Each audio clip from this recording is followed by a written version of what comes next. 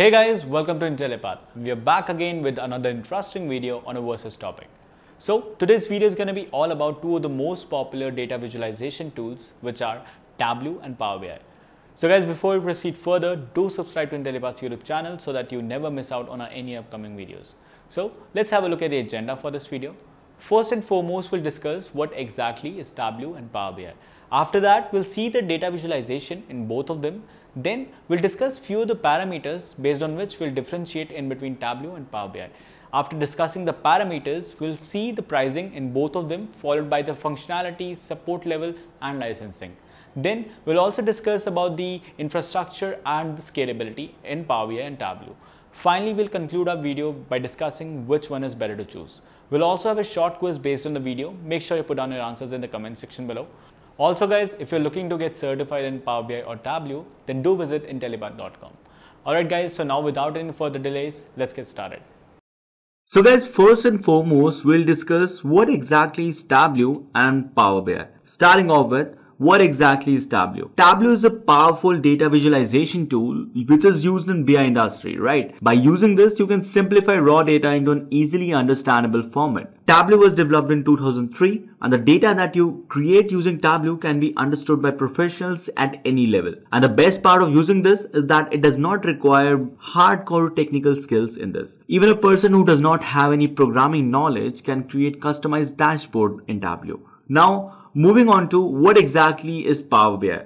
So it is a business analytics tool which was developed by Microsoft in 2013. It is generally used for interactive data visualizations and business intelligence. It provides an interface which is easy and simple to understand and work with. End users can create their own dashboards and reports using Power BI. Right. Now, as we've discussed about these tools in a brief, now let us discuss about the data visualization in both of them. Right. So first and foremost, let us understand what exactly is data visualization guys. So data visualization is nothing but representing the particular data in the forms of charts, diagrams, graphs and so on. Instead of going through the reports which are made up of complex and large amount of data, you can just use graphs, diagrams, charts, etc. That is as they will be more convenient for the users to understand, isn't it? Which BI tool you should choose for data visualization?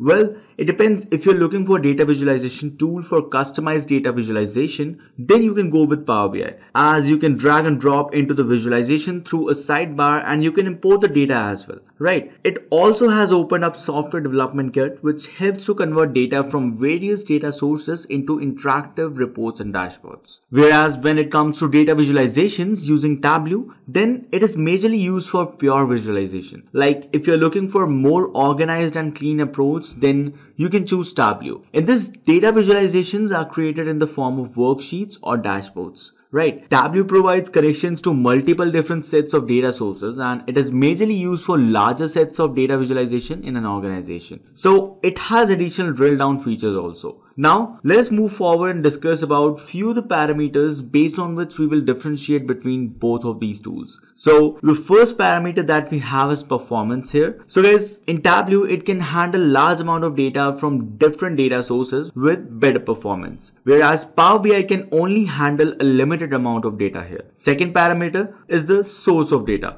Power BI has limited access to the other servers and databases as compared to Tableau. For example, Oracle databases, PostgreSQL database, SQL Server database, SAP HANA database, and so on. Whereas in case of Tableau, it has got access to multiple number of different servers and database sources such as text file, JSON file, PDF file, Excel, statistical files, Microsoft SQL Server, MySQL, and Oracle, Redshift, and the list goes on. Right now, in the third point, we have is the difficulty level of learning or learning curve. So guys, in Power BI, it is comparatively easier to learn as compared to Tableau.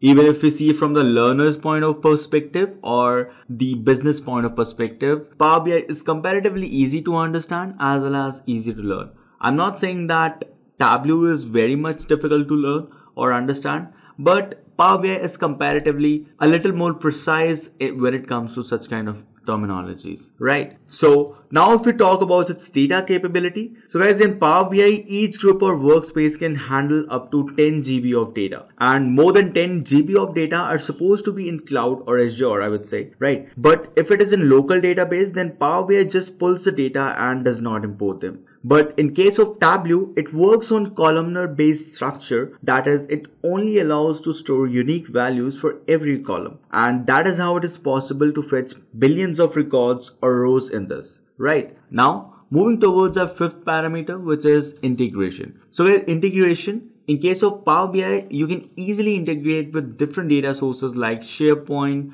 Azure, Power Flow, Power Apps, 365, Excel, and many other Microsoft products. Whereas Tableau is used for more scalable approach here with different different outsourcing tools as well, even including all of these Microsoft based tools as well as outsource based tools also, right? And the sixth parameter is about the data shaping. So guys, Power BI offers query editor which allows its users to do many things in an easier manner and it is more flexible. It also offers self-documenting and other features as well. Whereas Tableau does not offer any of these kinds of services. Now the seventh parameter that we have is the data modeling. Power BI provides Power Pivot DAX which are more accessible to the users whereas Tableau does not provide any of them. Finally, we have application. So guys, Power BI is used for dashboards, custom visuals and more like open source approaches. But Tableau is used for longer run operations and ad hoc analysis. As we have discussed about the parameters, now let us head towards the pricing part.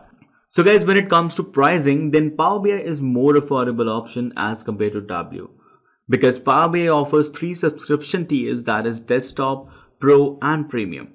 Desktop cost is not chargeable for its users and Pro cost starts as $9.99 per user per month. Pro also offers 60 days of free trial and in this server cost, web user cost etc is lesser and the premium plan starts at $4,995 per user per month as per the storage resource right? Whereas Tableau offers creator explorer and viewer subscriptions and it offers free trials of 14 days for users. Creator plan costs $70 per user per month and the explorer cost starts at $35 per user per month and tableau viewer cost starts at $12 per user per month which is a bit higher as compared to power bi so if you look at it from the initial cost perspective, then Power BI is way cheaper as compared to Tableau.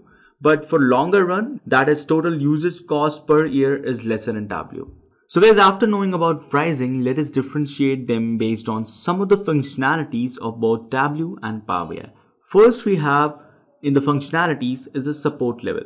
So guys, in Power BI, customer support is limited for users for free BI account and it offers robust support resources and documentation, whereas Tableau offers comprehensive knowledge based support for its users. Now, if we talk about licensing, then Power BI has rigid licensing whereas Tableau has flexible licensing. And in case of infrastructure, Power BI has SaaS or software as a service infrastructure, whereas Tableau has a flexible infrastructure here. And when it comes to scalability, for larger data set, Power BI has good scalability, whereas Tableau has much better scalability for larger data sets as compared to Power BI. Now guys, let me wrap up this session for you with a small discussion on which one is better to choose, Tableau or Power BI. If I speak honestly, then one cannot say directly that one BI tool is better than the other because Power BI can be a better option for small organizations as Power BI offers more affordable business solutions, right? Whereas Tableau users can integrate a huge amount of data points from different data sources for analysis, right?